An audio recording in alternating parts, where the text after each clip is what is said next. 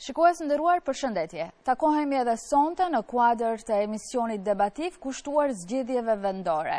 Sonte në fokus kemi komunën e Haraçinës për të prezantuar kandidatët, synimet dhe gjithë atë që dëshirojnë ose synojnë të bëjnë për komunën e tyre. Në studio pra kemi të ftuar zotin Isuf Bislimi, që vjen kandidat i Bashkimit Demokratik për Integrim. Më pas e kemi të ftuar zotin Isen Ramadani, kandidat i Aleancës për Shqiptarët, dhe përgjigjes ose ftesës sonë i është përgjigjur zoti Ali Ismaili nga Lëvizja Besa. Më duhet t'ju informoj shikues të nderuar se në kuadër të këtij emisioni ishte e ftuar dhe zonja Milikije Halimi nga radhët e Lidhjes Socialdemokrate të Maqedonisë. Ajo fillimisht konfirmoi ardhjen e saj, por më pas tha se është e gatshme për t'ju përgjigjur të gjitha pyetjeve të cilat veçmë ia kishim dërguar, por jo në një debat me kandidatët tjerë, por thjesht një intervistë. kurse rregullat e emisionit janë që ne realizojmë debate në mes të kandidatëve dhe jo intervista. Zotërinj të nderuar edhe njëherë mirë mbrëma dhe mirë se na erdhët në studio. Faleminderit. Do ta fillojmë me ju, pra, Zoti Isuf, ju vini nga jeni kandidat i Bashkimit Demokratik për Integrim, dhe mund të na thoni se Cilat janë motivimet ose arsyeja që ju ka shtyrë të kandidoni për të fituar besimin e qytetarëve të komunës së Haraçinës për të drejtuar këtë komunë? Faleminderit për ftesën, përshëndes telespektatorët, pasi që jetoj në atë vendbanim, duke marrë në konsideratë aftësitë e mia dhe grupit shoqëror të cilët ekipën time, Mendoj që t'i përmirësoj gjërat të cilat më së shumti ka nevojë komuna e Haraçinës, në lemia të ndryshme. Ndërkohë që cili është qëndrimi juaj, Zoti Ramadani? Faleminderit për ftesën, fillimisht desha të përshëndes gjithë teleshikuesit e televizionit maqedonas në gjuhën shqipe, po dhe gjithë telespektatorët që na ndjekin sonte Unë arsyet janë të shumta, fillimisht domethënë edhe si i punësuar në komunën e Haraçinës, ka shumë probleme dhe arsye tjera që unë e kam si obligim domethënë bisedat me qytetarët, me aktivistë që i kishim, mora guximin të dal kandidat i Aleancës për Shqiptarët që ta përfaqësoj komunën e Haraçinës sa më denjësisht për zgjidhjen e problemeve të shumta që e tangojnë komunën. Dhe qëndrimin tuaj, domethënë kandidatit nga Aleanca për Shqiptarët? Besa, nga që besa, përmirësoj. Nga po. kërkoj ndjesë, pra socialist. Faleminderit për ftesën, faleminderit për mundësinë, për hapësirën tuaj mediatike që na e dhatë mundësinë që të shprejmi mendimin tonë.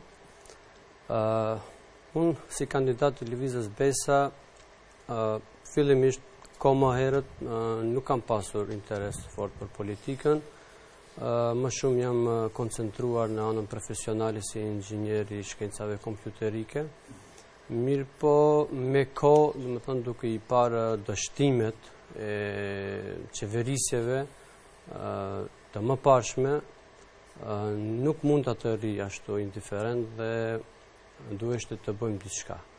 Domethënë, ne si Lëvizja Besa do, do ofrojmë një frymë të re të politikëbërjes në, si në pushtetin lokal edhe ashtu në pushtetin qendror. Uh, edhe njëherë t'i kujtoj shikuesit, pra jemi duke realizuar debat për uh, atë se çfarë ofrojnë kandidatët të cilët uh, garojnë për të marrë besimin e elektoratit për komunën e Haçir, uh, Haraçinës. Ne do të donim që të ishte përgjigjur ftesës sonë dhe zonja Milikije Halimi nga radhët e lëvizje, nga radhët e Lidhjes Socialdemokrate të Maqedonisë për të kuptuar se përse ajo ka vendosur që të garojë dhe cilat janë shtyllat në bazë të së cilës ajo do t'ju ofrojë një jetë më të mirë qytetarëve të Haraçinës, por nuk iu përgjigj në moment të fundit ftesës për të marrë pjesë në kuadër të këtij debati. Rregullat e emisionit ua kemi shpjeguar edhe para fillimit të emisionit, por edhe njëherë t'i kujtojmë shikuesit, në çdo përgjigj, domethënë në çdo pyetje keni nga 2 minuta hapësirë kohore për të elaboruar qëndrimet e juaja. Fillojmë me temën e parë, ajo që është më e ndjeshmja, infrastruktura. E filloj pra me ju, Zoti Bislimi. Cilat, në bazë të programit tuaj, cila është oferta për të ofruar një jetë më të mirë sa i përket uh, infrastrukturës në komunën e Haraçinës? Gjatë mandatit që ndoj gjatë këtij mandati me komunën qeveris uh, kuadër i Bashkimit Demokratik për Integrim, janë bërë disa punë infrastrukturore, një pjesë e rrugave kryesore të komunës janë asfaltuar, janë rregulluar, mirëpo ende kanë ngelur edhe shumë punë pa u përfunduar. Konkretisht, janë një pjesë e rrugicave, mungojnë trotuaret, mungon ndriçimi publik, që që në programin tonë të ardhshëm, me thënë mos them 4 vjeçar, por në programin një vjeçar, ne kemi paraparë duke marrë në konsideratë edhe buxhetin edhe buxhetin e komunës edhe ndihmën nga buxheti i qeverisë që ipet, që ato rrugica që kanë mbetur që edhe pjesën e trotuareve ta mbarojmë në një afat kohor sa ma shpejt, për arsye se në mënyrë të drejtpërsëdrejti i prek qytetarët, i prek nxënësit, të moshuarit. Gjithashtu, edhe ndriçimi publik është një problematikë, pasi që të gjitha amvisëritë pagujnë pjesën çka i takon ndriçimit publik, por në anën tjetër nuk e shfrytëzojnë. Meqenëse ajo i takon pjesës komunës, me thënë kemi paraparë që me thënë në një afat shumë të shpejtë, edhe këtë problematikë, do të thotë, këtë problematikë të jetë një pjesë e të kaluarës, dhe gradualisht, do të thotë komunën, ta shndërrojmë në një komunë moderne, sa i përket pjesës infrastrukturore, Duke marrë në konsideratë që Haraçina ende nuk ka kanalizim fekal dhe një problematikë e tillë do të jetë, do të thotë, ë mbi peshën e infrastrukturës, pasi që me fillimin e punimeve të kanalizimit, një pjesë e infrastrukturës dëmtohet, jemi dëshmitarë të asaj Mirëpo pa marrë parasysh, besoj që punët që kanë ngelur në kuadër të komunës në vendbanimin Haraçinë, Orllancë dhe Grushinë, dhe kapacitetin, jam i sigurt se në vitin e parë kjo problematikë do të marrë fund edhe qytetarët nxënësit, të moshuarit do të thotë do t'i ndjejnë të mirat materiale çka ne do t'ia ofrojmë. Zoti Ramadani, Aleanca për Shqiptarët çfarë ofron sa i përket infrastrukturës si zgjidhje ideore fillimisht pasi ju nuk keni pasur drejtimin e komunës? Po, është e vërtetë, me thënë, zhvillimi infrastrukturor në komunë është problem jo vetëm i rrugëve lokale, po me infrastrukturë nënkuptojmë edhe rrjetin e kanalizimit, edhe rrjetin e ujësjellësit, po edhe asfaltimi i rrugëve, siç e ceku edhe kundërkandidati më parë. edhe ndriçimi i rrugëve. Në komunën tonë janë bërë disa investime, megjithëse ka mund shumë edhe më shumë të bëhen në asfaltimin e rrugëve lokale, mirëpo nuk do ta kisha unë shumë më prioritet asfaltimin e rrugëve lokale, sikurse në infrastrukturë problem i kahmotshëm edhe arsyeja dhe qëllimi është që problemi i kanalizimit edhe problemi i sjellësit, ujit të pijshëm, Është problem i banorëve të komunës së Haraçinës, po edhe të Orllancës edhe të Grushinës, njëkohësisht edhe të Mojancës. Ky është problem kryesor edhe arsyeja, domethënë, qëllimi që ishim ne si kandidat i Aleancës për shqiptarët në konsultim edhe me kryetarin që kishim zotëri Ziadin Sela, qëllimin e kandidimit të kishim që si parti me marrë pjesë në qeveri për këtë zhvillimin infrastrukturor, kur dihet se buxheti i komunës nuk është i mjaftushëm për realizimin e këtyre projekteve infrastrukturore, mirëpo shpresoj me partinë, domethënë, që kemi në pushtet, shpresoj që do t'ia arrijmë qëllimit dhe t'i realizojmë projektet infrastrukturore primare që janë për banorët e Haraçinës, është mëkat, larg kryeqytetit 7 km, me afër 20.000 banorë, gati 26 vite, mos të ketë kanalizim dhe ujësjellës. Kjo është edhe qëllimi dhe prioriteti im në rast se marr mandatin nga banorët e komunës së Haraçinës, që do t'i përkushtohem gjatë gjithë deri gjatë gjithë mandatit deri në realizimin e këtij projekti ku shpresoj jo vetëm anë të qeverisë, po edhe me ndihmën e IPA fondeve që ka IPA fondet fondeve evropiane, ku ka mjete të ndryshme që duhet shfrytëzohen dhe të realizohet ky projekt kapital dhe ëndërr e kamotshme për banorët e Haraçinës. Cili është qëndrimi juaj, domethënë forma në të cilën, domethënë oferta juaj për qytetarët e Haraçinës, sa i përket problemeve infrastrukturore me të cilat përballen banorët e kësaj ane. Fjala për ju pra, zoti Ali. Po, faleminderit. Jemi shekull 21, Banorët e Haraçinës vuajnë nga mosfunksionimi i ujësjellësit aktual, i cili në sasi të vogla që shkon deri te qytetarët e komunës, edhe ajo sasi e vogël është ujë jo i pijshëm, ujë i pakontrolluar dhe jo jo adekuat për amvisëritë e Haraçinës. Për këtë problematikë duhet të punohet në një projekt, një investim kapital i cili do të bënte grumbullimin e këtyre ujërave, filtrimin e tyre, pastrimin e tyre, si dhe distribuimin te çdo qytetar i komunës së Haraçinës. Qeverisja e mëparshme e BDI-së nuk ishte e gatshme të bën këto investime, të bën t'u mundësojë qytetarëve që të pinë ujë të pijshëm, këtë investim, këtë projekt, duhet njeri me vizion, me punë, me vullnet që t'i del ballë, domethënë këtyre, këtyre projekteve. E vetmja BDI ishte e gatshme të shkatërron gjithçka në Haraçinë, ishte e gatshme të, të degradon gjithçka që, që kanë qytetarët, mirëpo ishte dhe e gatshme të keqpërdor të gjitha resurset që i kishte komuna e Haraçinës. Domethënë, vlen të potencohet Edhe buxheti i komunës së Haraçinës, meqë e përmendën, që është aq i vogël, po besoj që koha nuk na premton, ka do të shkojmë në temë. Do të ndalemi edhe pak këtu, domethënë se keni të drejtën e kundërreplikës për një minutë, meqë ishit i thirrur pra zoti Bislimi rreth asaj se çfarë ka bërë BDI dhe çfarë s'ka bërë, megjithëse ju nuk keni qenë drejtpërdrejt në drejtimin e komunës, fjala për ju pra zoti Bislimi. Po, meqenëse unë nuk kam udhëheq komunën, por pa marrë parasysh e di dhe diku se çka është punuar. Kur jemi te më shumë te kanalizimi fekal edhe ujësjellësi këtu, dua të potencoj se diku 3.080 metra veç është fitu tenderi dhe është çështje dite kur do të fillojë.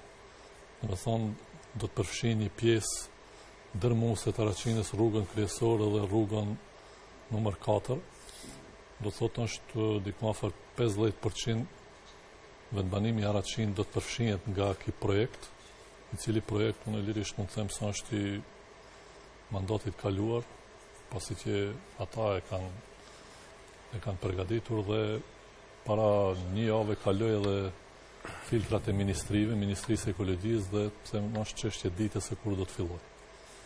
Kur jemi te ujësjellësi, rrjeti i ujësjellësit është i ri, mirëpo për fat gjysma e vendbanimit Haraçinë nuk ka ujë, edhe vendbanimi Orllancë me restrikcione. Arsyet janë të ndryshme. Prej vërshimeve vitin e kaluar pasi që ujët merret nga poshtë, domethënë nuk është arritur që të sanohen ato dëme, mirëpo ne kemi parapa, unë si kryetar i ardhshëm i komunës, kam parapa që pasi që veç Gypat, rrjeti është një është rrjet që para 7-8 vite, kështu që s'ka nevojë komplet të ndrohet. Do të thotë vetëm mjafton që të sigurojmë plus ujë më shumë se sa janë nevojat e fshatit. Edhe kjo problematikë mund të them që shumë shpejt do të rregullohet dhe do t'i kalojë të kaluarës, pasi që edhe këto ditë kryetari aktual ka bën groposjen e disa bunarëve, por mendoj që ende do të ketë nevojë në atë drejtim. Një problematikë tjetër është edhe fshati Orlanc, i cili fshat merret pjesa dërmuese merren me bujqësi dhe blegtori. Edhe aty kemi bërë një projekt që me shpejtësi do të thotë fshati veç e ka rrjetin, mirëpo nuk ka ujë. Kemi paraparë që edhe në atë vendbanim do thotë çështja e ujit të jetë një çështje e kaluar. Por, po? dhe... Kemi kundërreplika, po, po. do t'i kthehemi akoma, po domethënë t'ju japim fjalën edhe kandidatëve të tjerë.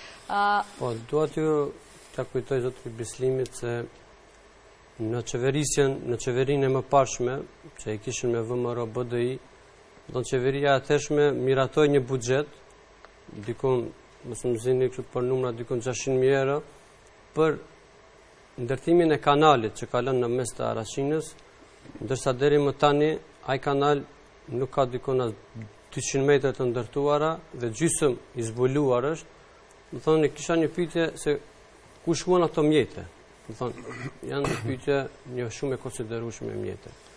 Sa i përket ujësjellësit, domethënë është jo aq funksional sa për një defekt të vogël, duhet të ndalet uji në të gjithë fshatin. Domethënë kur është bërë instalimi i gypave të ujësjellësit, kanë munguar valvulat apo si e njohim ne vintilla a, për të ndalu domethënë që të ketë valvula që e kontrollojnë edhe rrjedhën e ujit edhe shtypjes domethënë edhe zgjidhja me puset domethënë është është zgjidhje që i përket kohës së kalume domethënë tash Tash ka zgjidhje moderne të cilat duhet duhet t'i kërkojmë dhe duhet t'i t'i zbulojmë. Zoti Ramadani? Unë kisha replikë ndaj të dy kandidatëve. Fillimisht desha të lidhem aty me rrjetin e kanalizimit të ujësjellësit që tha dhe kundërkandidati im tha që nga prej vërshimeve në atë kohë nuk ka pas ujë. Problemi i ujësjellësit është problem thuajse me vite edhe prej kur është instalu. Rrjeti i ujësjellësit është në mënyrë të dorë. Mirëpo problemi që qëndron në ujin, domethënë kapaciteti i ujit, edhe pse ka shumë ujë, ku e ceki edhe kundërkandidati që është bo hapja e bunarëve, Unë këtu desha të replikoj për atë se hapja e bunarëve bëhet në mënyrë, është fakt që domethënë janë hapë 3-4 bunarë, mirëpo pa hulumtim gjeologjik për vendin se sa ka kapacitet të ujit, aty a do të ketë shumë apo pak, vetëm se ne kishim një projekt Ministria e Transportit, për pikërisht për ujësjellësit, ku është janë, domethënë, edhe fondet e Bashkimit Evropian, nga ana e Ministrisë së Transportit duhet shfrytëzohen ato, edhe aty janë parapa edhe për hulumtimin gjeologjik për hapjen e bunarëve. Domethënë, duhet të caktohet vendi adekuat ku mund të ketë ujë të pijshëm, të mjaftueshëm për banorët e komunës së Araçinës, e jo të bëhet hapja e bunarëve, në mënirën se si kujtohet, në atë vend, këtë vend. Pa hulumtim gjeologjik, që do të ketë ujë të mjaftueshëm, nuk mund të kemi zgjidhje për problemin e ujësjellësit. Këtë e shoh unë si zgjidhje, domethënë, Kjo është oferta që jua, po, prezantoni qytetarëve të Haraçinës. Kjo është. Ka, ka nevojë për kundërreplika, po, po, po, zotin... Në lidhje me kanalin kryesor, po, i cili na tangon të gjithëve. Shkojmë edhe me një kundërreplikë, po. pra për ta informuar regjim me nga një minutë. është edhe ekziston, është një problematikë, ajo gjysma është rregullu, konkretisht te shkolla fillore, e cila ka qenë problematike për nxënës, kurse faza tjetër na pret neve, ku me projekt konkret, jam i sigurt që në afat të shkurtër edhe ajo pjesë do të rregullohet, pastaj kanalizimi në qka do të fillojë, është çështje dite kur do të fillojë, Iseni e di se ka punu edhe në komunë, edhe është njohës për këtë projekt, Domethënë ai do t'i mbledhë të gjithë ujërat e zeza të cilat banorët me vetiniciativë i kanë hudhë në kanalin kryesor.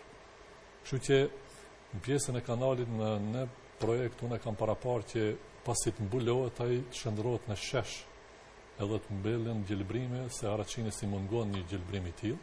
Kështu që vend ka do të jetë një shëtitore, një shesh, edhe do të jetë një mrekulli e vërtetë që do të shndërrohet do të thotë nga një vend i ndotur në një në një shesh me gjelbërime, me drunj, kështu me radhë. Duke shpresuar që banorët do ta mirëpresin, do ta përkrahin edhe do të në atë pjesën e mirëmbajtjes që mos ta shkatërrojnë.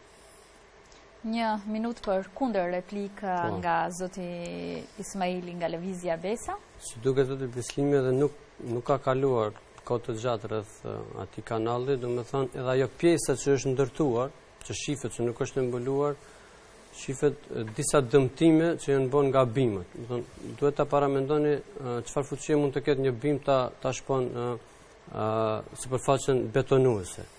Domethënë këtu është esenca sa mjete janë lëshu për atë kanal dhe sa mjete janë harxhu. Mjetet e tjera për çka janë të destinuara apo kanë shku në xhep të tjetërkujt. Domethënë kjo është qeverisja, e vërtetë e Bashkimit Demokratik për Integrim. Ne do të zotohemi, ne do të zotohemi, si Lëvizje Besa, qytetarët të kenë një pasqyrë të plotë të harxhimeve të mjeteve, transparencë të plotë, transparencë të skajshme, çdo, çdo qindarkë që do të harxhohet, do të dinë se për çka është harxhuar. Zoti Bislimi, ishit i thirrur drejtpërdrejt, pasaj do ta keni fjallën ju, zotëri? Po, po, po, zoti Bislimi, fjala e juaj. Çdo qytetar e ka të drejtën ligjore që të paraqesë, ta ftojë revizionin dhe të bëjnë kontroll çdo institucion. Kështu që nëse Aliu e ka pa se vërtet janë bon keqpërdorime n'komunë, domethënë që sa kohë e kemi opozitë, ka pas mundësi të shkojë te revizioni shtetëror me një kërkesë të thjeshtë, edhe revizioni ta shqyrtojë punën e kryetarit të komunës. Me ardhjen tonë në komunë do ta bëjmë atë revizion dhe secili do të përgjigjet për keqpërdorimet që i ka. Ka të drejtën ligjore nëse ti e parasheh që ai institucion nuk është tu punu drejt, paranë tonë publike është tu e harxhu në mënyrë jo të drejtë, kështu që ne besoj që kam besim te dy se jemi me fakultet klasë e ngritur dhe nuk është kundërkandidatja për arsye se nuk ka ardhë se s'do m'u ballafaqu me opinionin se i mungon arsimi adekuat, duhet ta dimë një gjë, do të thotë ne duhet t'i dimë të drejtat tona. Domethënë, për revizion s'ki nevojë ti ta pritsh që ta mersh komunën.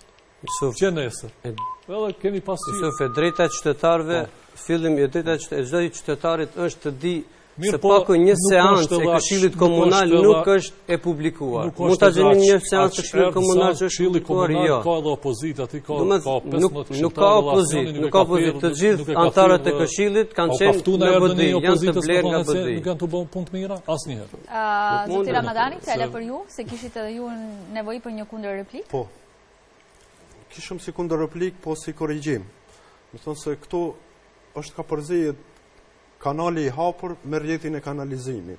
Jemi tu debatu dy probleme të ndryshme, e shoh nga kundërkandidatët që e kanë instalu si një problem. Problemi i kanalit të hapur është tjetër problem, problemi i rrjetit të kanalizimit është tjetër problem.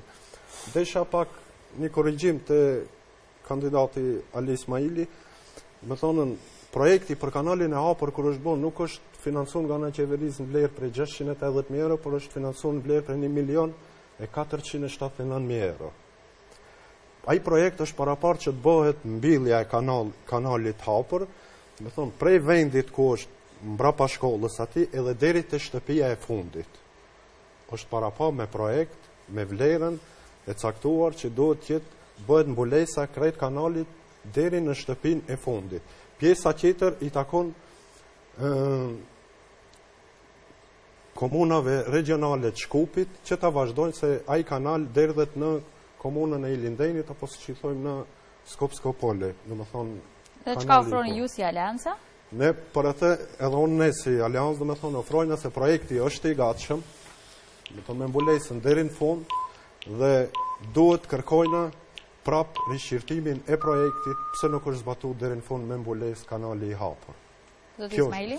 Kërkoj falje për replikën, ndoshta e banalizuam këtë punën e kanalit, mirëpo Nuk mundet ai kanal vetëm të mbulohet dhe të derdhen ujt. Shumë mirë e dimë të gjithë se ai kanal derdhet në lumin Vardar, i cili i kalon disa vendbanime në komunën Ilinden dhe në disa fshatra të tjerë. Domethënë, nuk mundet kanali, si kanalizim, të derdhet në ashtë. Domethënë, nuk, ajo do, do të kishte qenë një katastrofë ekologjike. Ne, si Lëvizje Besa, kemi Kemi bërë një projekt, domethënë një projekt ideor, që ai kanal, në fund të atij kanalit të ndërtohet kolektor të cilët do të bëjnë trajtimin e ujërave të zeza. Që sigurisht, ato fonde, ato, ato mjete do të kërkohen nga IPA fonde 2, të cilat ekskluzivisht janë paraparë për trajtimin e ujërave të zeza. Kalojmë në bllokun e dytë të pyetjeve që ka të bëjë me mirëqenien sociale. Ju e thatë se komuna e Haraçinës është vetëm 7 km larg kryeqendrës, është një popullatë që kryesisht merret me bujqësi dhe blegtori, cila është oferta që ju ua prezantoni qytetarëve për të fituar besimin e tyre për të adhëmbo. Kësaj radhe e fillojmë me ju zoti Ali. Po, siç e cekët edhe ma herët, domethënë, Komuna e Haraçinës, shumica e banorëve mirren me blegtori, me bujqësi si dhe disa tregtarë domethënë që janë në kuadër të Komunës Haraçinës, disa kompani të vogla. Këtu vlen të theksohet se papunësia është në një shkallë tejet të madhe. Ne si Lëvizje Besa, do t'ju ofrojmë të gjithë qytetarëve një shërbim adekuat në suazat e komunës së Haraçinës. Fillimisht për blegtorët dhe për për bujqit më e rëndësishme do të ishte themelimi i organit kompetent nga që të mirren kompetencat nga Ministria e, e Bujqësisë dhe shërbimet, kërkesat dhe për subvencione dhe për punë tjera, domethënë që t'i ofrohet nga komuna e Haraçinës. Këtu vlen të potencoj se në komuna e Haraçinës momentalisht kemi vetëm 8 persona të, të punësuar në administratën e komunës, e cila duhet t'i bëjë ballë, duhet t'i japë t'i ofrojë shërbime. T'i ofrojë shërbime mbi 15 qytetarëve. Domethënë, këtë si prioritet, Fillimisht duhet ta kemi themelimin e organeve kompetente, domethënë këtu do të hyjnë ë organi për punë, për punë dhe politikë sociale, për bujqësi, për ekonomi, për zhvillimin ekonomik dhe dhe tjera, domethënë se vijnë me radhë.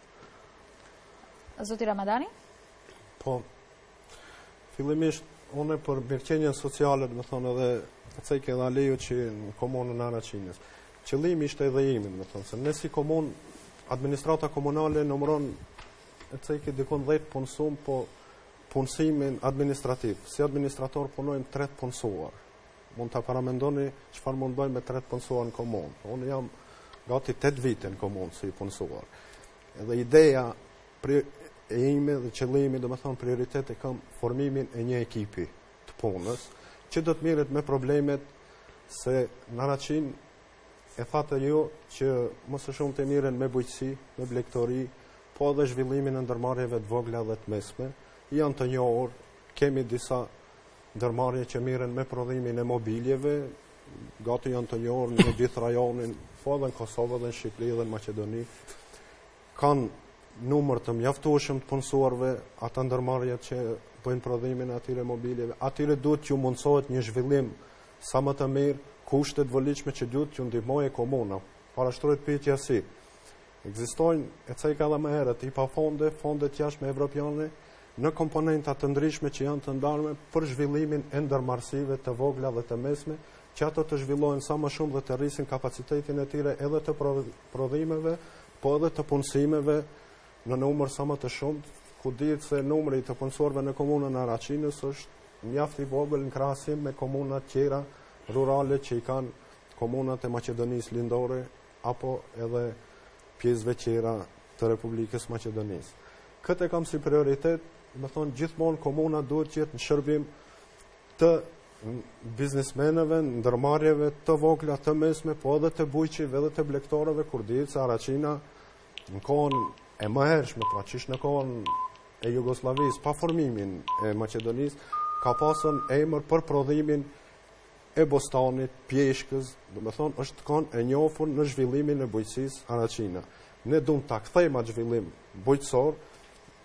Pra edhe të nxisim të rinjtë, po edhe bujqit tjerë që të punojnë sa më shumë, se ekzistencën e tyre, haraçinasit e shofin në kushtet e veta, apo tokat e veta bujqësore që i kanë. Për krahasim nga komunat tjera, ne migrimi nuk e dojë.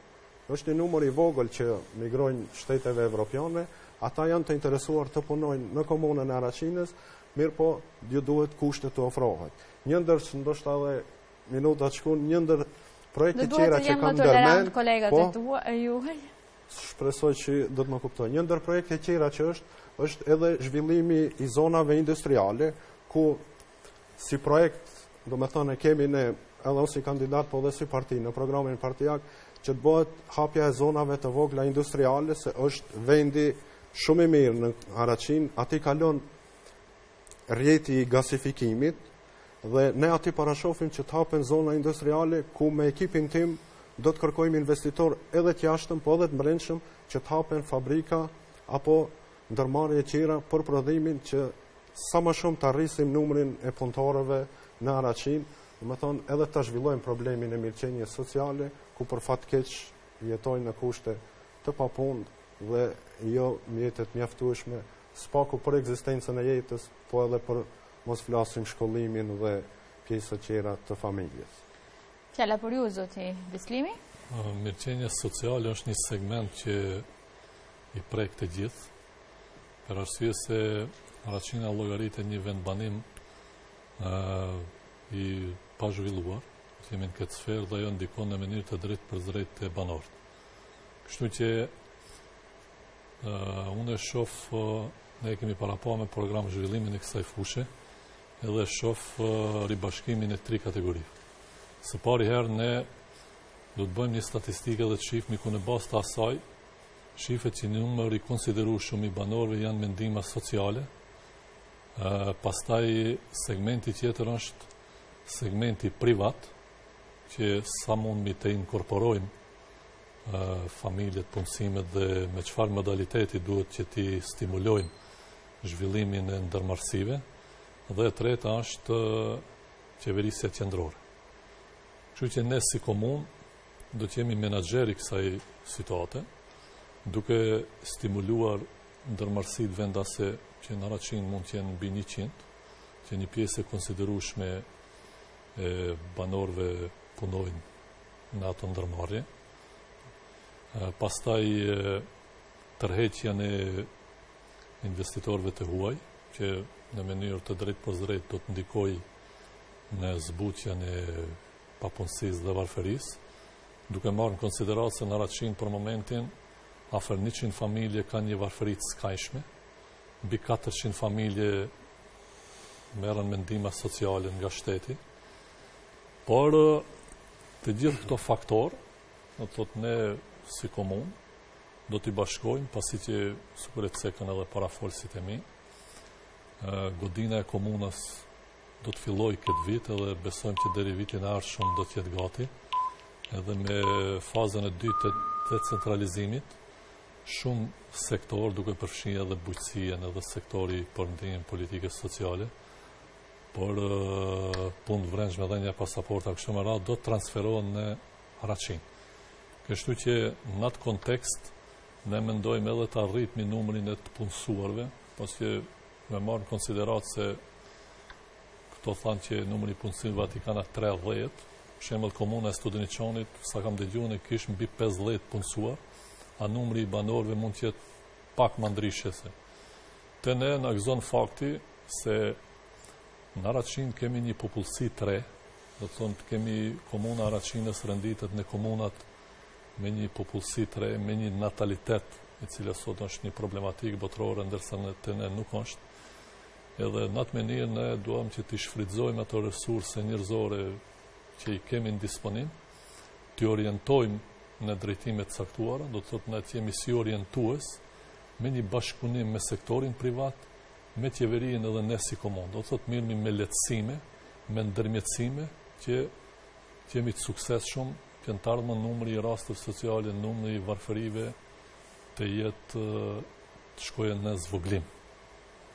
Po, fjala po. për kundërreplikë, po, domethënë një minutë kundërpërgjigje të kandidatëve ah. juaj, fjala për ju pra zoti Ali Ismaili nga radhët e Lëvizjes. Mund t'i marrim të dhënat e fundit tash të publikuara nga Birn, që në komunën e Araçinës brenda 4 viteve është investuar vetëm 25 euro në banor që i vjen dikun 380 denarë në vit. Ë kategoria më e rëndë, siç e përmendi edhe zotëri Bislimi, është kategoria me raste sociale, të cilat komuna i ka paraparë vetëm me ndihmë 300.000 denarë në buxhetin e saj, mirëpo edhe ato 300.000 denarë nuk jemi të sigurt a janë shpërndarë siç duhet, apo kanë shku në xhep të tjetërkujt. Kur jemi te bujqësia, domethënë, ne si Lëvizja Besa, do të Do të bëjmë çmos që bujqësia të jetë zhvillimore, jo vetëm për ekzistencë të, të qytetarëve, po të jetë zhvillimore që ato produkte të mund të shiten edhe ja, jashtë vendit, jo vetëm në, në, në tregjet e vendit, po edhe jashtë vendit. Domethënë, do të miremi kryesisht mbi të gjitha, Komuna e Haraçinës do t'ju përket të gjithë qytetarëve dhe do të jetë e hapur për çdo shtresë të qytetarëve. Kalojmë në pyetjen, kishim fjalë për kundërreplikë, jo? E mbyllim, po, jo, jo, po? Urdhëro zoti Ramadani? Deshta të ndërlidhem me zhvillimin siç e cekën kur ishim te mirëqenia sociale. Parafolësit e mi e cekën, unë vetëm deshta të kujtoj, se vetëm se komuna Haraçinë është në fazën e dytë të decentralizimit që ishte në vitin 2011. Në është komunë që jemi para komunës së orën, fazën e dytë të decentralizimit, dhe Sistematizimi i komunës tonë parasheh që më së paku të jenë të punësuar tridhjetë e nëntë administratorë për një zhvillim efikas të administratës komunale. E shoh këtë, e ceka edhe më herët që ne jemi një numër shumë i vogël. Për atë edhe ishte qëllimi im që të kemi një ekip. Është fakt që ne nuk kemi as sektor për punë dhe politikë sociale, as të bujqësisë, as të urbanizmit, as që miret me resurset njerëzore. Kjo kërkon Për atë thash unë që si kandidat i ardhshëm nëse e marr mandati, fillimisht unë duhet të bëj ekipin për punë që ta kemi një zhvillim sa më efikas dhe kushtet oferta jonë do të jetë që ne banorëve t'ju mundësojmë për shfrytëzimin e të gjitha nevojave të veta, si në mirëqenie sociale, si në bujqësi, si në zhvillim ekonomik lokal, si në urbanizm dhe në gjitha problemet tjera. Kjo është ajo që deri tash nuk është bërë nga kryetarët e mëparshëm, megjithëse nuk kemi edhe kushte në objektin e komunës siç është, po për mendimin tim ajo do ishte zgjidhje më e vogël se ka objekte tjera që kanë mund qenë, në bazë, në objekte tjera me qira ku vetëm është dasht të punësohet një ekip mjaft i përsosur se ekzistojnë në komunën e Haraçinës të rinj të arsimuar të profileve të ndryshme që edhe ato të inkuadrohen dhe të punojnë për të mirën e banorëve të komunës, që sigurisht edhe do të zvogëlohet numri i të punësu, i, pun, i të papunëve në komunën e Haraçinës, njëkohësisht do të rritet edhe numri në komunë dhe do të jenë shërbimet më efikase për banorët e komunës. Kalojmë pra në pyetjen e radhës që ka të bëjë me çështjen e arsimit. Oferta juaj për të përmisuar kushtet që kanë të bëjnë me cilësinë e arsimit, por dhe të gjithë atyre nxënësve të cilët janë pjesë e shkollave që gravitojnë në komunën e Haraçinës që përfshin disa fshatra. Fjala për ju, Zoti Bislimi? Po, po. Ju vini edhe nga arsimi? Po, unë vij nga lëmi i arsimit, më shumë se një dekadë, dhe pak a shumë, do thosha më shumë se kundërkandidatët e njoh këtë lëmi. Domethënë se për zhvillimin e arsimit në shkencë ekziston një trekëndësh didaktik njëherë, do thotë se prindërit, mësuesit, por po natyrisht godina shkollore e cila na përket neve si komunë, domethënë mirëmbajtja dhe kushte themelore për mbarëvajtjen e mësimit. Ne jemi dëshmitarë, jo vetëm në Haraçinë, mirëpo në gjithë Republikën, Shkollat mësojnë me kushte, mos të them si në kohën e Pandeli Sotirit. Një drrasë, një shkumës. Unë, ne kemi projekt për këtë, domethënë se një bashkëpunim me, me organet shkollore, por në këtë rast, ne do të caktojmë një inspektor komunal për çështje arsimore, dhe në mënyrë të vazhdueshme, kontrollat do të jenë, mos të them të përditshme, për mbarëvajtjen e mësimit, kushtet, elementet e gjithë ajo çka ndodh. Duke pas në konsideratë se Araçina ka një strukturë të mësimdhënësve edhe moshë që ka një një bagazh pune në ato institucione shkollore. Besoj që gradualisht ato shkolla do të shndërrohen në shkolla të mirëfillta me një kuadër me me nxënësa solidë, që në të ardhmen do të thotë të njëjtit të përballohen me fenomenin shoqëror çka i pret.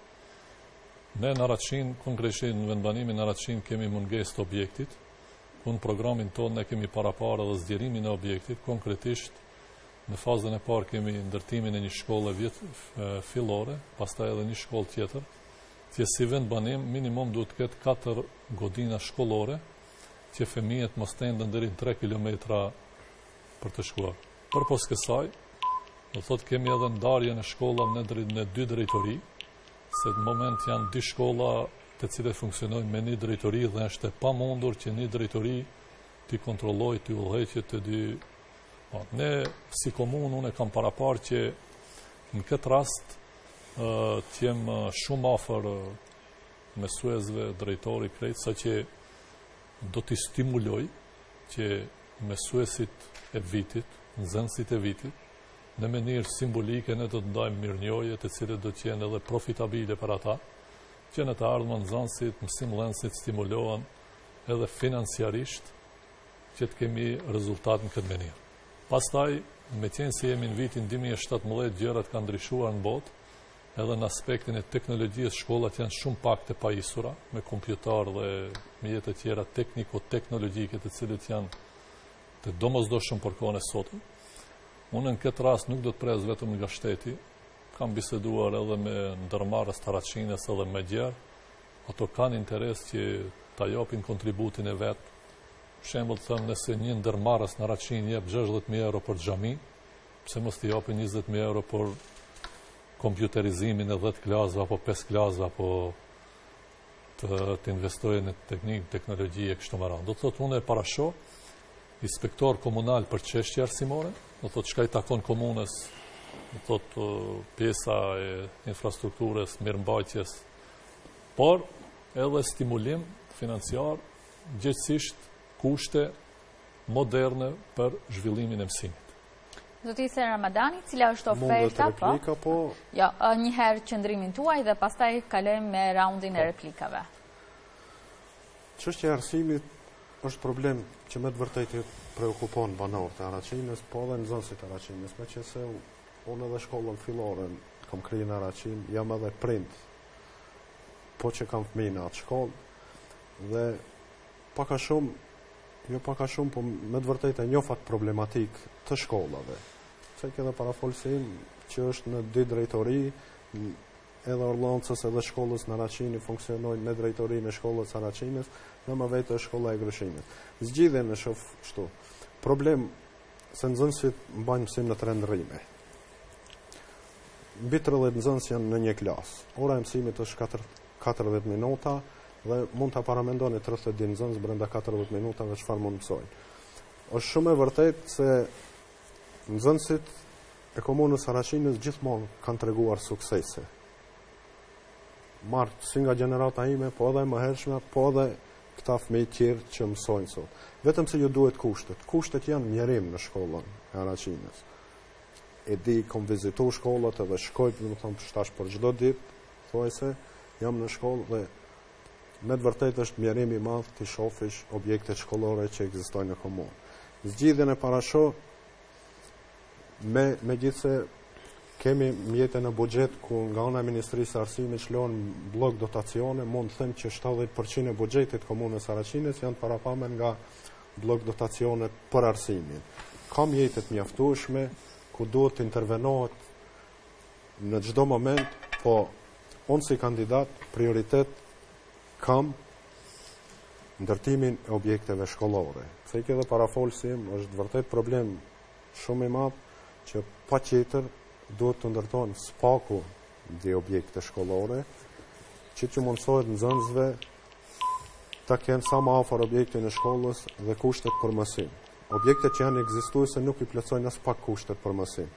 Po deri në atë kohë, derisa të jetë ndërtimi së paku dyte, duhet t'ju sigurojmë nxën, duhet t'ju sigurojmë nxënësve mjete transportuese se vërtet këmbësor, nxënësit këmbësor janë nga 2-3 kilometër, mund ta paramendoni nxënësit e vegjel sa udhëtojnë për çdo ditë për në shkollë. Gjithë prindit kanë obligime, s'janë të detyruar gjithkush me vetura, po ka mjete që duhet t'ju mundësohet edhe transportimi, derisa të bëhet ndërtimi i dy objekteve shkollore, që Unë si kandidat i kam, do t'i kem prioritet, megjithëse disponoj edhe me projektet krejt, jo vetëm me projekt ideor, po me projekt final, krejt janë të finalizuara, nuk janë që kushtojnë shumë, duhet vetëm lokacioni të gjindet dhe mjetet, kemi na donatorë të ndryshëm që janë të gatshëm të investojnë për ndërtimin e objekteve, po fundi fundit edhe pushteti qendror duhet t'ju sigurojë mësim kushte për mësim cilësor nxënësve, sepse është obligim që ta kryejnë shkollën. Projektet ekzistojnë, unë i kam në program dhe me marrjen e mandatit do t'ju nënshtrohem të gjitha këtine prioriteteve të mija, po thash si pikëfillim dy objekte shkollore patjetër duhet të ndërtohen. T'kenë kushte më të mira. Fjala për ju, Zoti Ali? Po, kur flasim për shkatërrim, jo vetëm aq, me thënë, denigrim të institucioneve shkollore në komunën e Haraçinës. Vetëm të futeni në oborrin e shkollave, mund të shihet mund të çka, çka, çka mund të marrin fëmijët prej aty. Me thënë, gropa të hapura gjithandej, një fije bari nuk ekziston ato drunj të shkatërruara, Po të futesh brenda dhe më keq. Domethonë, dysheme të shkatruara, karrike, gjysmë karrike, pa mbajtëse, drasa, nuk kanë shkumsa fëmijë që të shkruajnë. Të mos flasim për tualetet, është një mizeri, domethonë, që mund të, të jetë shumë shumë shumë shqetësuese se mund të marrin ndonjë infeksion fëmijët aty. Sigurisht, Zotri Bislimi s'ka qenë shumë kohë nëpër shkollat e Araçinës, por jo, jo vetëm ajo. Domethonë, drejtori i shkollës në çdo moment është në direksion të kryetarit të komunës. Këto premtime që i bën tash për për shkolla tjera, për shkollë të mesme, këto i kemi pa edhe në vit në platformën e Bashkimit Demokratik për, për integrim në vitin 2013. Domethonë edhe aty përmendet shkolla e mesme, gazif, deri te gazifikimi që për qytetarët është diçka science fiction. Dhe oferta juaj është? Domethonë oferta jonë është që të depolitizohet sistemi arsimor.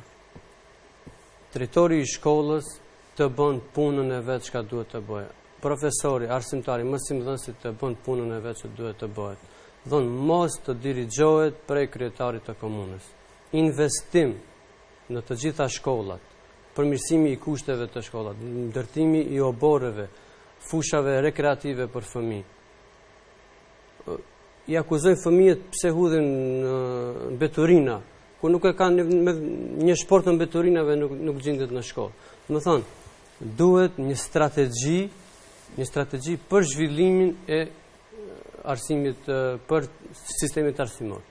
Ne si Lëvizje Besa, kemi paraparë, fillimisht të ndërtohet një qerdhe për fëmijë që i tangon qytetarët e komunës Araçinës. Sipas statistikave që, që posedojmë dikun, Prej moshës zero, prej moshës të vogël deri në moshën 4 vjeçare janë diku mbi 1000 fëmijë në Araçinë. Domethonë këto fëmijë duhen të kenë edukim fillestar. Pastaj të shkohet në meremetimin dhe renovimin e shkollave, pastaj të shifet se a duhet dhe a, a, a duhet dhe a ka mundësi që të ndërtohen objekte tjera. Domethonë së pari t'i shofim këto objekte t'i ndërtojmë. T'i rregullojmë t'i ofrojmë kushte moderne, kushte që meritojnë fëmijët të kenë. Nuk kemi sallë në në fshatin Grushin, nuk kemi sallë në fshatin Orllanc. Nuk kemi salla në në shkollën fillore që e njohim si shkolla e vjetër, nuk është funksionale. Edhe pse në programin arsimor fëmijët prej moshës 1 deri në 5 vjeçare e kanë lëndën e e arsimit fizik dhe shëndetësor, ato nuk mund ta përdorin sallën. Pse, se nuk është funksionale. Ushtrojnë në klasë, ushtrojnë në oborr, ushtrojnë në asfalt, ushtrojnë në pluhur. Domethënë, duhet t'ju ofrojmë kushte të mira këto shkolla që janë momentalisht. Dhe depolitizim i depolitizimi i shkollave. Do ta shfrytëzoj se meqë meqë shfrytëzon shumë debatin pra lus regjinë për po. kundër replikë, mund të vazhdoni pra zoti po, Aliu dhe fjala për kundër replikë. Do ta do ta vazhdoj edhe pak. ë kemi kemi shumë mësimdhënës në Besoj regjia do të vendosë uh, tajmerin e Po, shumë mësimdhënës kemi me me kontratë. Domethënë, këto mësimdhënës mm, vazhdimisht kanë qenë në presion nga pushteti. Domethënë, janë uh, kanë përdor mashineri votuese. Domethënë, këtyre nëse në Haraçinë ka nevojë për mësimdhënës, se ka fëmijë Haraçina, atij mësimdhënës duhet t'i ipet vendimi. të kërkohet të të zgjidhet staf adekuat në në sistemet arsimore. Jo vetëm staf partiak që që e kemi tash. Domethënë ipet lënda e anglishtes nga një nga një arsimtar që studion diçka në një lëmi tjetër. Domethënë, duhet, duhet të ndërmerren këto masa. Fëmijët të pregaditen mirë, ka kapacitet në Haraçinë, ka fëmijë të mençur, ka fëmijë inteligjent, këtyre duhet t'u jipet përparësi. Mirëpo, fillimisht duhet të japim kushte. Salla edhe një, edhe këtë, domethënë, salla në te shkolla e re, që është ndërtuar tash, nga qeveria, ajo sallë duhet ta dinë të gjithë, ajo sallë nuk është e përdorshme nga fëmijët, ajo sallë menaxhohet nga njerëz partiak dhe ato mjete futen në xhep. Domethënë, fëmijët nuk e kanë në dispozicion atë sallë. Zoti Ramadani, kishit fjallën për kundër replikë, kërkuat? Po, e cek edhe kandidati Isuf Bislimi që e njef mirë lëmin e arsimit, po, është profesor, po, kisha një replikë ndaj këtij për shkak se për ta njoftë problemin e arsimit aty duhesh të jesh prezent, s'paku njëherë në javë ta vizitosh objektin shkollor.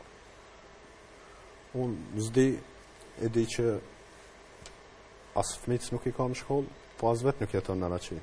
Okej, shkollë, zgjidhjen e shof për atë nuk është që të kërkohet investim nga biznismenët, nga ndërmarrësit për me financu shkollën, objekte shkollore, apo për mjete kompjuterike siç ceki. Pse ato të kërkohen kur kemi na Ambasadat e huaja, si ambasada e Gjermanisë, ambasada e Norvegjisë, USAID-i, po edhe shumë organizata tjera evropiane kanë mundësinë e mundësojnë atë financimin e projekteve si për fasadim të shkollës, si për mjete kompjuterike, domethënë për arsim ata janë të gatshëm në çdo moment. Vetëm se duhet vullnet, punë, ekip, për punë, për pregatitjen e kërkesave. Ne Në fund të këtij viti kishim një projekt ambasada e Gjermanisë për fasadimin e shkollave apo rregullimin e oborrit shtëpiak. Ajo vetëm se duhet vullnet nga ana e kryetarit të komunës të formojë një ekip të aplikojë me projekt dhe mjetet janë të gatshme. Ju e dini edhe vetë, organizatat evropiane shumë financojnë në arsim. Nuk duhet ne t'i preokupojmë banorët e komunës së Araçinës apo biznismenët që ata ta financojnë shkollimin. Dhe oferta juaj është? Oferta jonë është që unë si kandidat, domethënë me shfryt, prioritet do të kem për arsimin, shfrytëzimin e mjeteve edhe nga ana e buxhetit, edhe nga ana e Ministrisë së Arsimit, po edhe nga fondet evropiane që janë organizata të shumta dhe ofrojnë mjete të shumta për një zhvillim dhe për t'ju mundësuar kushte sa më të mira arsimore nxënësve dhe fëmijëve në banorët e komunës së Araçinës, e jo të kërkohet nga biznismenët që të investojnë në shkolla. Zoti Jusufi, ishit i thirrur disa herë, domethënë, fjala për ju? Një po. replikë, po. Unë jetoj në Araçinë, unë kam shpi në Araçinë tema, thotë me kanë mërgim, kam punuar një periudhë, kam banesë në qytet edhe kam vilë në Malësi. Kështu që vin sekretari i komunës që nuk e kam atë problem të hi në komunë të bëj shpi, të bëj banesë, të bëj vilë. Këto i kam. Me punë të përkohshme kam punuar një periudhë në Perëndim. Që i sejnë ta lë rahat se kështu që edhe banorët ta dinë se unë nuk vi pa shpi, pa vetura, të gjitha i kam. Kushtet elementare që duhet të ketë një familje. Shkollën unë e kam vizituar. Shkolla nuk rregullohet për një ditë domethënë janë shumë faktorë, unë e ceka, domethënë janë mësimdhënësit. Mirëpo ne si komunë kushtet elementare duhet të krijojmë, do të thotë. Edhe cilësia e arsimit do kohë. Domethënë, mos të shkojmë në atë aspektin historik që duhet një dekadë. Por ne do të fillojmë, domethënë do të fillojmë prej në klasën e parë, ose prej në klasën e pestë, që gradualisht do të fillojmë që ne nxënësat e Haraçinës vërtet kanë treguar sukses individual. Mirëpo neve na duhet një sukses shoqëror. Se si sukses individual nuk mund të them sukses individual nuk mund të jetë edhe sukses shoqëror. Neve na duhet që nxënësat, do të thotë thash, një inspektim nga komuna, se ne sekretar komune në shkolla ka drejtor, Do të ketë drejtor, ka këshillin e shkollës, ka këshillin e arsimtarëve. Edhe ne nuk mund të shkojmë për çdo ditë në shkollë dhe të themi ej ti pse s'ke orë punë. Sa i përket asaj punësimit partiak. Unë nuk kam dëgjuar në Haraçinë që dikush, një profesor i mirëfilltë, të rrijë te autobusi pa punë pse nuk e kanë pranuar në punë. Një ofertë edhe ti Ali e ke pas me punu profesor. U mendove dy javë s'ta mori mendja marr në punë. Po, pse? Do thotë jo gjithkush është për arsim. Arsimi duhet një herë të kesh një dashuri ndaj nxënësve, ndaj arsimit, pa po pastaj jo gjithkush kush kryen fakultet mund të jetë mësues. Domethënë, unë shkoj në atë që duhet të kemi një inspektim, bëjmë inspektimin, mjetet që ka i përmendë edhe ti sen, t'i shfrytëzojmë ato mjete për renovimin, për modernizimin e shkollave, në këtë rast duke mos anashkaluar prindit edhe sektorin privat, pasi që dimi nxënësa janë dy mijë prind, Edhe ata prind, unë e kisha rast vllai është mësues 30 vite, prindit janë mbledhë, dojnë të investojnë, do të thotë, japin disa mjete, pune, teknike, teknologjike, do të thotë vetë dëshira e prindve.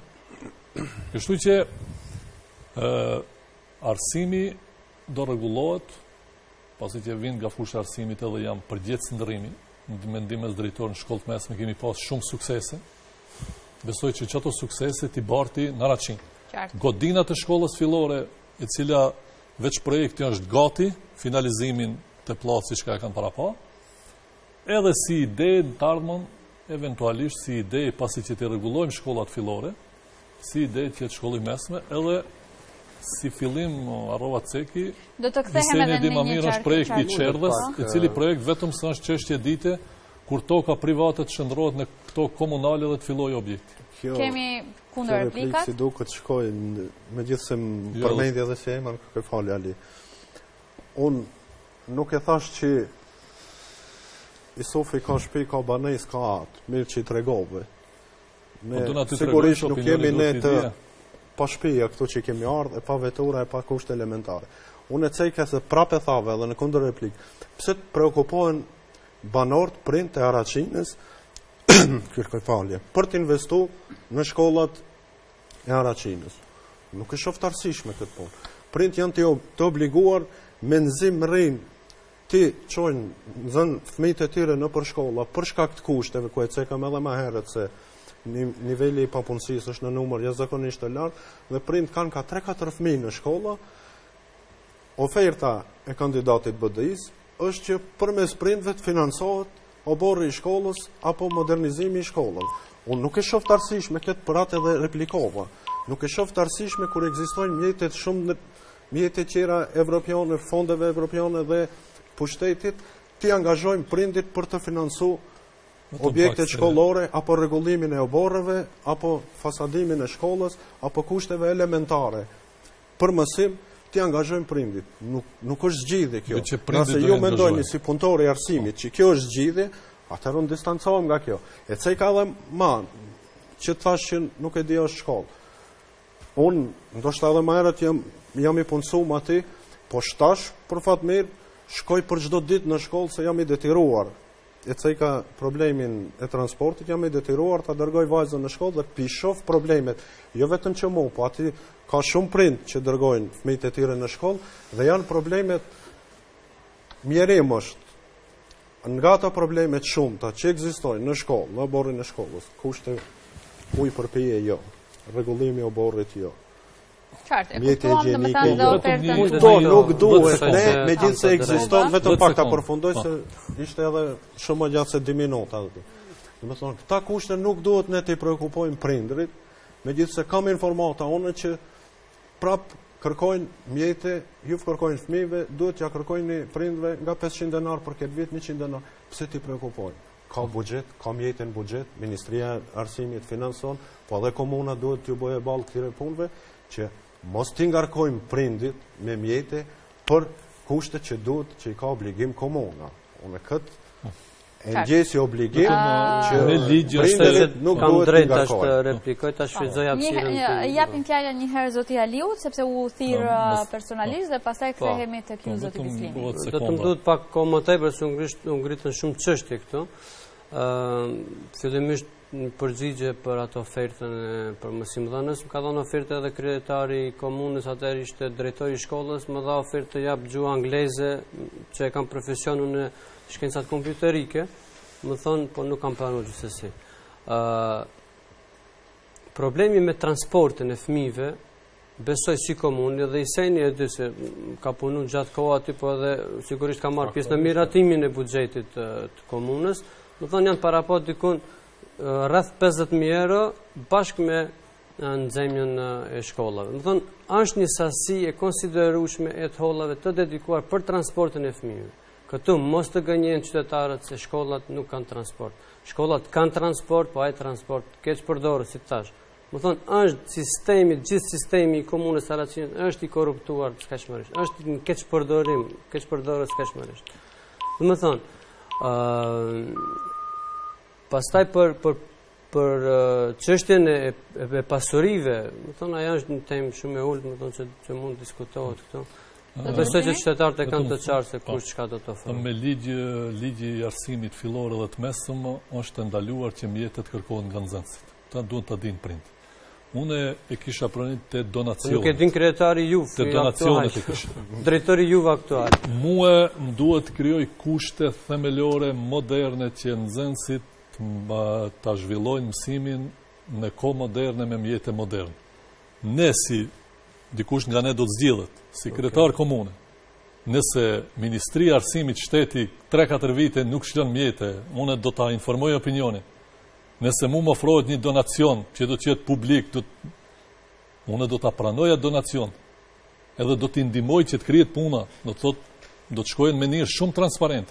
Mu më duhet që punën ta kryej, a me donacion privat nga shteti, a IPA fondet, mu më duhet kushte themelore nxënsave dhe mësimdhënësve të rregullohet. Në lidhje me transportin ne në projektin tonë kemi paraparë Me një donacion nga Turqia që na ka premtuar dy minibusa, të cilët do të shërbejnë edhe nxënësit e vegjël. E ka shkolla minibusin, po, e ka komuna minibusin. Do të thotë është projekti, që unë, unë e konkuroj si kandidat. Dy minibusa të cilët edhe do t'i mbartin nxënësit edhe gratë edhe të moshuarit. Do të thotë se e kemi në projekt që Ditën e parë do të thotë ndoshta Yusuf, për sistemin e arsimit të gjitha mjetet janë parapa. 70 milion denar janë si blok dotacion garoj, garoj Ati, me, futen, me këto projekte. Edhe puna po. e transportit, edhe nxemje, po, po. edhe mirëmbajtja, edhe inventari imët për, po, për në shkollë. Kushte themelore të kenë nxënësit. A me donacion privat, a me qeverinë, a me qeverinë e Shqipërisë, a me qeverinë e Kosovës, a me IPA fondet. Unë me ekipin tim ne do të jemi në terren Vrapim e gjetje fondeve, se komuna e Haraçinës e di se një punon aty se sa mjete ka në disponim. Mirëpo ne do t'i shtojmë ato mjete duke marrë në konsideratë se neve do të na përgjigjen pozitivisht, ja një shembull, komuna e Çagllavicës Kosovës, serb, marrin donacione prej qeverisë së Shqipërisë në vlerë 500.000 euro. Po. Por në fund ne ne duhet t'u krijojmë kushte elementare, a me donacion privat, a me donacion shteti, a me IPA fonde, mund duhet në një afat të shkurt të vendosmi rregulla themelore për edhe Haraçinës për me financuar objekte shkollore. Nuk e preokupoj. Unë kam njerëz të Haraçinës që financojnë edhe sa herë kanë financu. Po s'duhet të po njerëzit të financojnë, të financojnë. Pse financojnë njerëz të Haraçinës? Ministria e Arsimit kur nuk lëshon mjete ato mjete që t'i lëshon janë 70 milionë denar. Do të thotë menaxhoji mirë ato 70 milionë denar. Je si kandidat për kryetar komune, po. edhe nuk e din se sa mjete Lshon Ministria e Arsimit apo buxheti i komunës së Haraçinës sa ka para? Buxheti i komunës së Haraçinës për momentin lëshohet në bazë të rrogave edhe ato që kanë blok donacione vetëm për mbarvajtje, ata e dimë, ato janë simbolike. Nuk ato janë simbolike, simbolike, janë simbolike. Ato janë para pa, milion rroga të arsimit. Janë parapa për diçka. Jo, jo, jo, 28000 euro i jepen për transportin dhe për furnizimin me naftë. Është e vërtetë, merr, ja këto e kemi. Unë ti mos i merr në konsideratë. Janë dhana zyrtare prej komunës. Po. Dhana zyrtare prej komunës, s'e ke kshyr të po. buxhetin e 2017-tës çka ka parapa komuna, atëherë është problemi po. jot. Mirëpo, janë dhana zyrtare të komunës. Ju lutem, shkojmë konkretisht. Konkret, shkojmë neve na duhet konkret zhvillim edhe rregull në arsim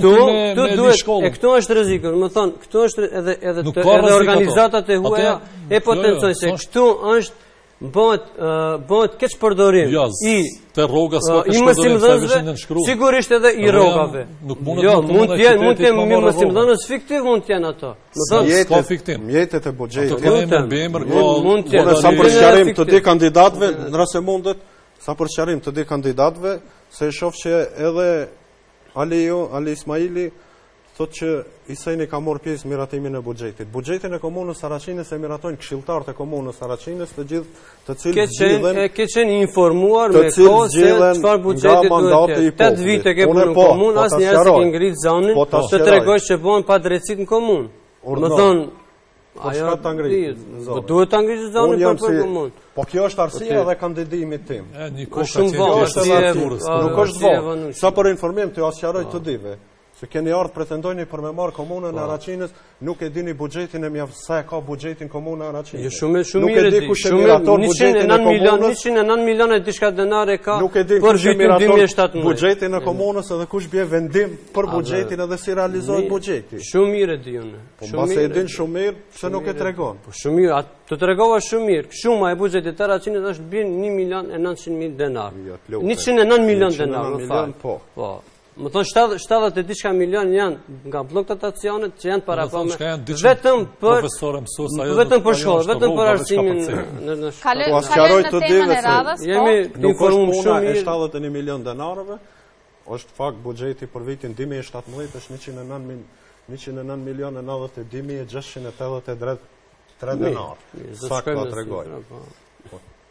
Pse po shoh që ti pretendoni për kryetar komune, buxhetin e komunës nuk e keni. Shumë e di, po, shumë ju lutem. Shumë e di, shumë i di. Këto shifra s'i kam parë, unë kam parë në buxhet. Nuk di. Shumë më dani ju lutem.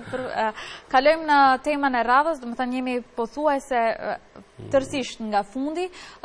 Nuk dua ta anashkaloj temën që e kemi paraparë kulturën dhe sportin, pavarësisht se e lëmë gjithmonë në fund, po është një temë që Ka një rëndësi të veçantë, ofertat e juaja konkrete që kanë të bëjnë me zhvillimin e kulturës dhe sportit në komunën e Haraçinës.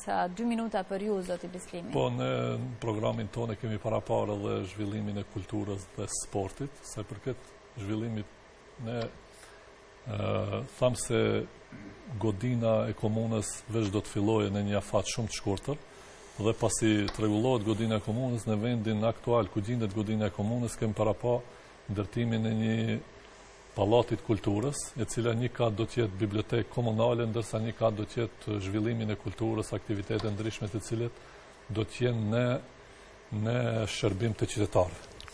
Pjesa tjetër e sportit, Haraçina Është e njohur si Haraçinë edhe nëpërmes klubit Shkëndija, e cila në vitet e nëntëdhjeta ka qenë shumë e suksesshme, do të thotë ia ka arrit për mos thënë ka qenë në ligën e parë, por për shkaqe politike në atë kohë.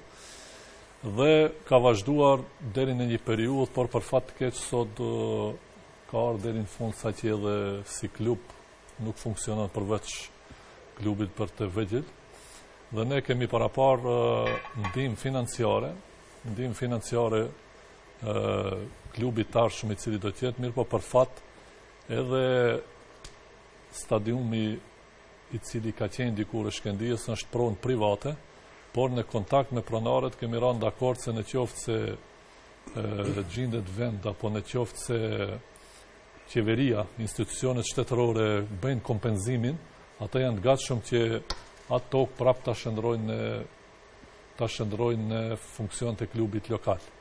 Por në qoftë se kjo nuk ndodh, varianta e dytë është që të, të fillojmë të ndërtojmë një stadion n'dalje prej Haraçine, e cila është edhe tokë shtetërore e vetmja çka mund të ekzistojë, dhe në këtë mënyrë ne Ne do t'i japim përkrahje financiare, morale, do ta ndihmojmë në të gjitha aspektet që sporti të kthehet në atë periudhën ku ka qenë, do të thotë se e vetëmja për kohën moderne, sporti është një dukuri e cila i ndalon fenomenet e këqija tek të rinjtë, edhe njëashtu ne do të japim një angazhim maksimal që ta vendosim në binarë edhe këtë kulturë. Fjala për ju zoti Ramadani.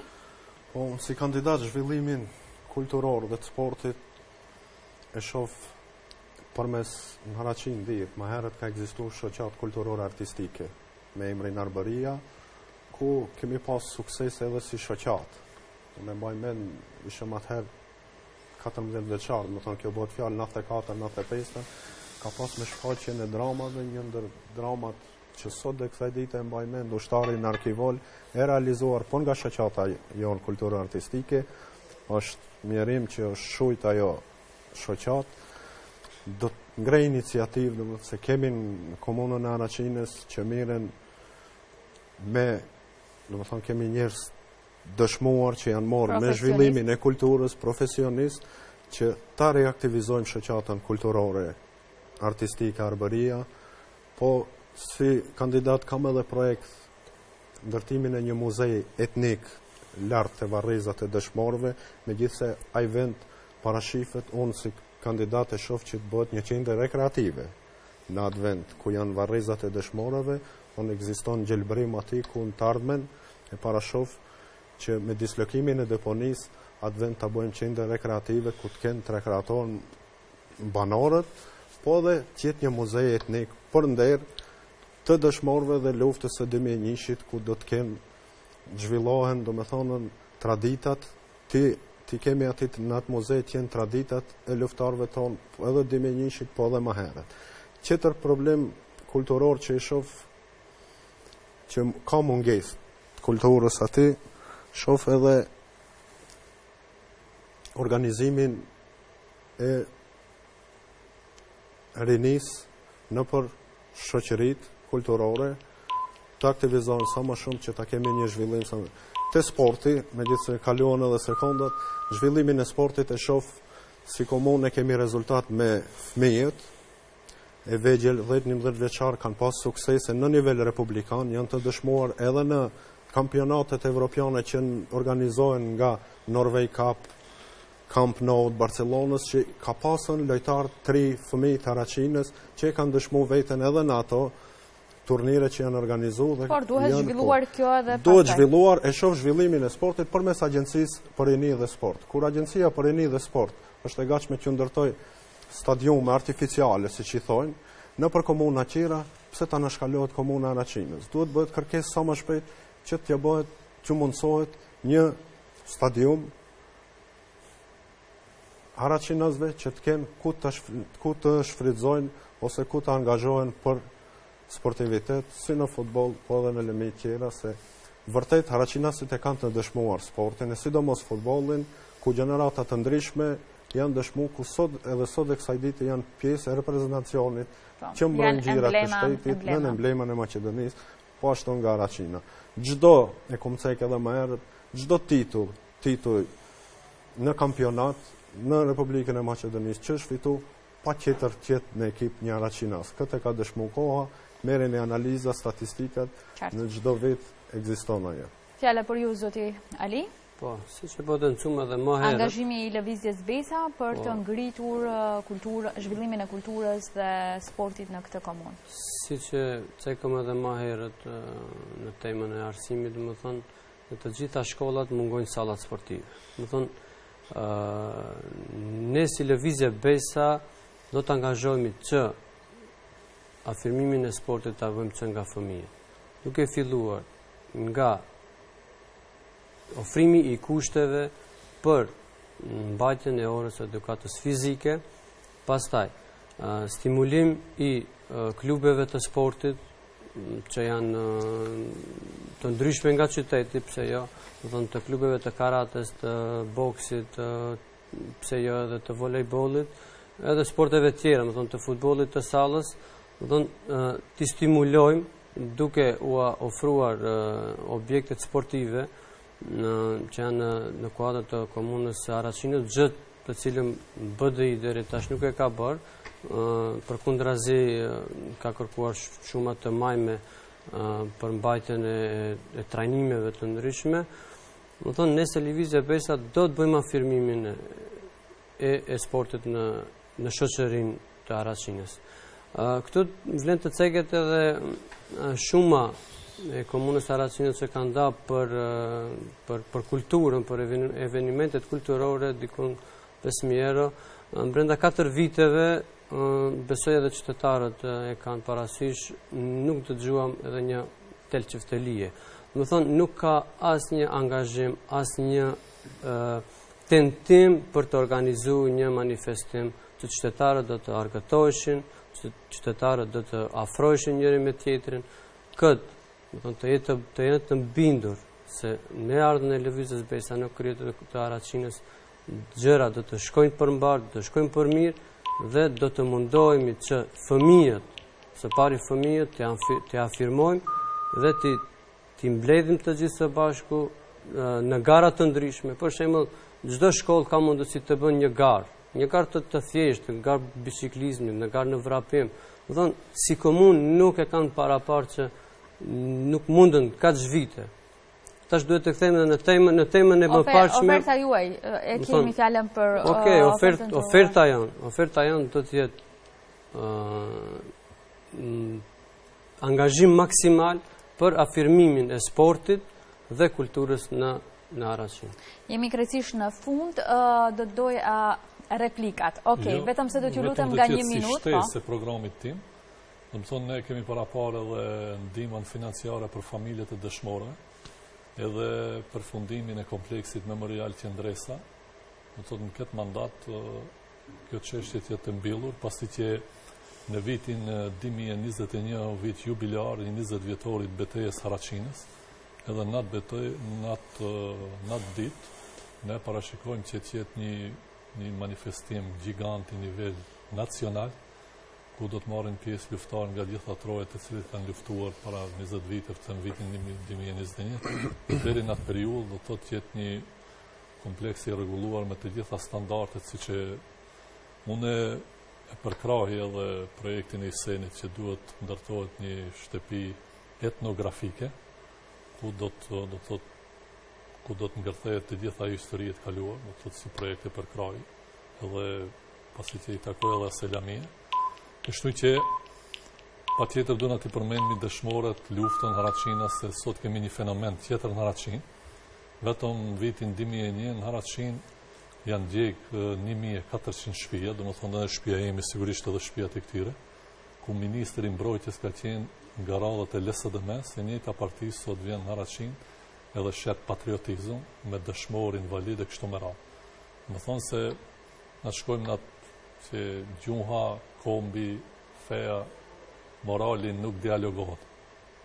Zoti Ramadani? Unë desha të ceki, jo që si replikë, po edhe unë si shtesë.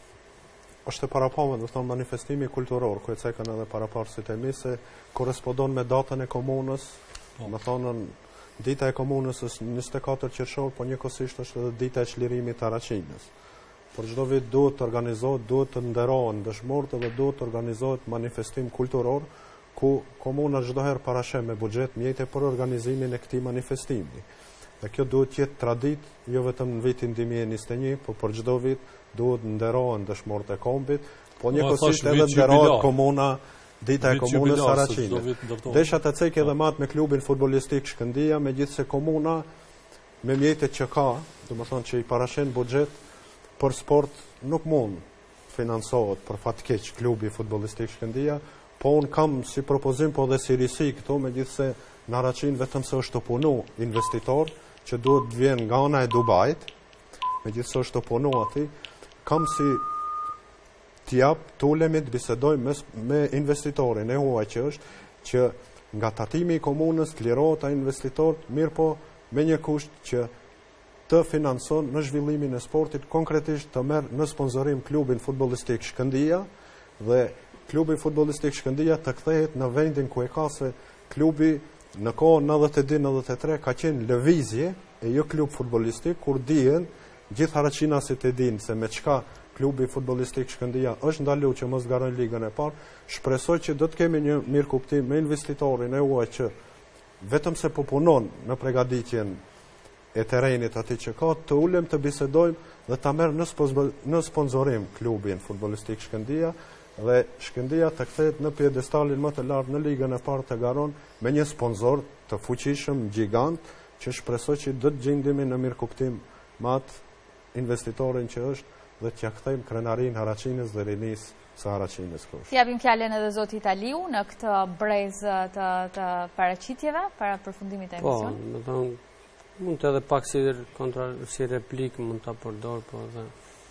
Domethënë këto Pretendime këto plane këto besoj që janë nuk e di nuk janë pak janë shumë pak besueshme duke pas parasysh edhe statusin e stadionit të të Shkëndijës, domethënë është një pronë private, nuk është edhe një një pronar, po janë tre pronarë dhe janë momentalisht ndërtohen, ndërtohet aty rreth stadionit, domethënë është një një tentim, domethënë është një dështim në fakt, është një dështim i komunës së Haraçinës që ka lejuar edhe të ndërtohen, domethënë ato objekte përreth. Shkaku se nuk ka një plan uh, urban, domethënë nuk ka arrit të bën një një plan uh, urbanistik dhe edhe me këtë qëllim, domethënë edhe edhe edhe edhe bëhet degradimi i i objekteve sportive, domethënë që, që kanë qenë. Jemi putu e të Edhe, edhe unë megjithëse replikoj se thanë që janë premtime boshe. Haraçina ka plan detal urbanistik, do të thotë, ky mandat është kryu riseni e di se ka punu në komunë, edhe lidhje me investitorin, do të thotë, ka edhe investitorin e parë që na vjen nga Dubai, i cili me... Tash, flisni për të njëjtin investitor që edhe qe për me po, po, Dubai. Po, njëjti investitor është, mirëpo ajo është dikush e ka sjell atë investitor, s'ka prej Do të thotë kushte ka kriju komuna që me shpresë që ai nuk do të jetë i pari, por do të vazhdojnë po, më tutje. Paktën të mirë një vesh, nuk është cilje ka sjellë. Nuk është premtim bosh që thotë se komuna e Haraçinës apo klubi futbollistik Shkëndija stadiumi është pronë e shumë afaristëve. Unë nuk e ceka problemin e stadiumit. Komuna e Haraçinës ka plan detal urbanistik, ka vende, ka hapësirë ku mund ndërtohet një stadium. Po, Nëse agjencia për rini, Ekziston vetëm stadioni i vjetër. Tetë vjet i bëjnë komunë, nuk ka pas një herë komunë që ka ardhur kërkosh një plan. Më thon, lutem. Stadioni i vjetër është stadioni i vjetër i Haraçinës është në pron pronë shtetërore. Pronë shtetërore ku aty parashihet, okay. Ka vende që vetëm plani urbanistik i komunës së Haraçinës ku do të ndërtohet. Atë pronë jeni stadion. Jeni duke e premtu për shumë gjana. Jo. Ndërtim të spitalit, ndërtim, ndërtim të asaj, më thon,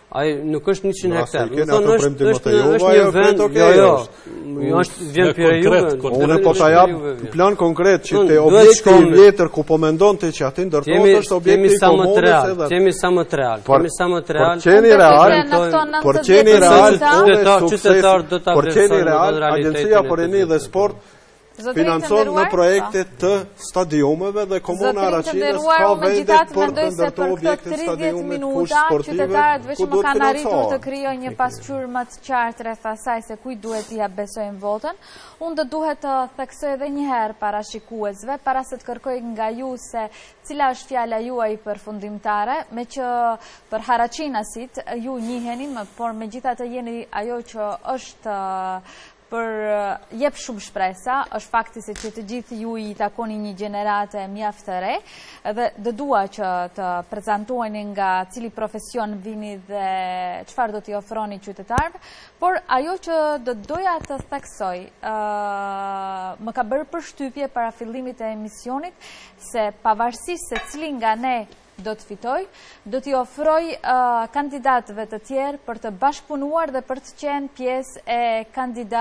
pjesë e ekipit të atij kryetari i cili do të arrijë që të fitojë besimin e elektoratit, duke pasur për bazë, ose duke pasur si strumbullar, pikërisht atë kombëtare. Zoti Bislimi, e filloj me ju pra. Çfarë do t'u kishit thënë shikuesve ose në fakt të gjithë haraçinasve pse duhet pikërisht juve t'ua besojnë votën? Unë i drejtohem qytetarëve të komunës së Haraçinës, që të ma japin votën për disa arsye, duke marrë në konsideratë aspektin profesional edhe të arriturat në lëminë time, do të thotë në fushën që i takoj, për të më dhënë votën, do të thotë se duhet merret në konsideratë edhe aspekti familjar, aspekti shoqëror, individual, po ashtu edhe mosha, dhe konsideroj që me votën dhe meje ata nuk do të zhgënjehen, por do të jem, do të thotë, sikur hymë me këtë me këto projekte do të dalë me faqe të bardhë pas 4 vite, me projekte konkrete të realizuara në fusha të caktuara dhe atë që premtojmë duhet të jeni sigurt që do ta realizojmë. Zoti Ramadani? Po, arsyet pse duhet të më votojnë banorët e komunës së Haraçinës edhe pse unë e kërkoj votën e tyre, se vota është e shenjtë, Po pregaditja ime profesionale si ekonomist i diplomuar, domethënë, se komunës i duhet një menaxher që duhet, din të udhëheqë sa më mirë menaxhimin e komunës. E them këtë, e di aftësitë e mia se jam gati 8 vite i punësuar në komunën e Haraçinës dhe aty i di gjitha problematikat, ankesat dhe kërkesat e qytetarëve. Kjo është një ndër shtyllat dhe arsyeja kryesore pse duhet të më votojnë banorët e komunës së Haraçinës, sepse unë ofroj programin e udhëheqjes, siç e ceka edhe gjatë bisedës që kishim gjatë debatit, po jam shumë optimist në këtë angazhim, për shkak se kam një parti, një lider partiak, që më rri mbrapa dhe këtë e ka dëshmu, lideri i Aleancës për Shqiptarët që qëndron stoikisht në, në kërkesat dhe qëndrimet e tij që i kishte edhe në parlament, po në gjatë bisedës që kemi pas dhe kam kërku kandidimin tim, ai m'ka thënë vazhdo se unë do të qëndroj në kërkesat e shqiptarëve, po edhe në kërkesat për investimet që do t'i kërkosh në komunën dhe jam ai që do të rri mbas deri në realizimin e kërkesave. Këtë e kërkoj nga banorët e komunës se me votën që do t'ia japin Aleancës për Shqiptarët, Haraçina do të jetë më ndryshe nga komunat tjera, do të menaxhohet ndryshe nga pararendësit e mi, po edhe nga parafolësit e mi dhe shpresoj që realizimi i ofertës programore që e dhashë Për zhvillimin e komunës së Haraçinës do të jetë në afat sa më të shkurt, por në këtë program katërvjeçar shpresoj që t'i plotësoj gjitha kërkesat e qytetarëve në programin që u ofroj. Kjo është. Fjala për ju zoti Ali. Po. Për dallim nga Se unë mbështetje nuk kam prej liderit, po kam prej gjithë stafit, një mbrapa që një staf i përgatitur mirë edhe profesionalisht dhe në akademike, të cilët, të cilët do të bëjnë çmos që së bashku me mua Haraçinën ta çojmë drejt prosperitetit, drejt zhvillimit dhe drejt avansimit të kushteve, të përmirësimit të kushteve në komunën e Haraçinës. Haraçinës i duhet një njeri mbi të gjitha që do të vë veten e tij në shërbim të qytetarëve të Haraçinës, pa dallim të përkatësisë së tyre partiake. E kemi edhe një karrige bosh, më duhet të ritheksoj edhe njëherë se ishte e ftuar edhe zonja Milikije Halimi nga Lidhja Socialdemokrate e Maqedonisë për të mësuar rreth ofertave që bën ajo si kandidate për banorët e Haraçinës nga ku dhe kërkon besimin e elektoratit, por ajo në moment të fundit nuk iu përgjigj kërkesës sonë, duke theksuar se angazhimet e saj i mundësojnë për të bërë një intervistë në Haraçinë, por jo edhe një përballje me kandidatët të cilët garojnë për komunën e Haraçinës. Ndërkohë që juve, zotërinj të nderuar, ju uroj suksese në fushatën zgjedhore dhe ndër Kohë që juve telespektatorë të nderuar ju falënderojmë për vëmendjen me të cilën na ndoqët, duke e shpresuar se krijuam një pasqyrë sa më të qartë se kujt duhet besuar vota, se çka është bërë në Haraçinë dhe çka duhet bërë. Mirupafshim në takimet e radhës.